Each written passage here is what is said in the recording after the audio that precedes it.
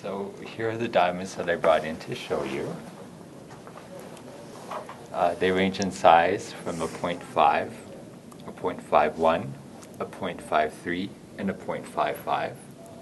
Well, Jeff comes down here so to visit me, so I don't have to go into like a high pressure sales pitch of anybody into a store where you know people are coming after you to, you know, sell you something or force you into something, and then they want you to make a decision right then and now. At least I can think about things after Jeff would visit me, and we go through a step, and then I'd have time to think after.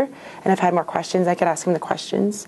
So there was no pressure to do anything or to make choices on the spot. So where's the half? Is this one the half?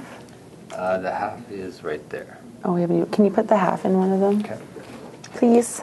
So you gotta pick whatever you want and what you like instead of having to go out and trying to find it. You just gotta have like a mindset. This is what I want. Make it, and then being able to see everything and the differences. Are those the bigger ones? Yep.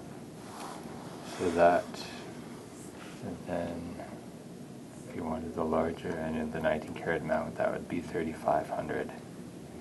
Perfect.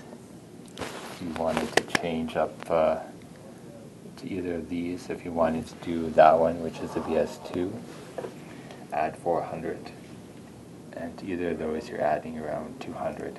So, Either of these for 200? Is that bigger than that one? yeah. If you go through to a traditional jewelry store, uh, they're not going to take you through the process of um, comparing a set of diamonds side by side, looking at the differences in the color and clarity. Uh, they'll most likely um, just show you a price and a certificate. When he's finished, he'll talk to Jason. So after this, I'm done pretty much in the process of it. And that way, I'll, I'll like what I get. And my boyfriend is happy because he didn't have to, to choose or make a choice and then worry if I liked it or not liked it.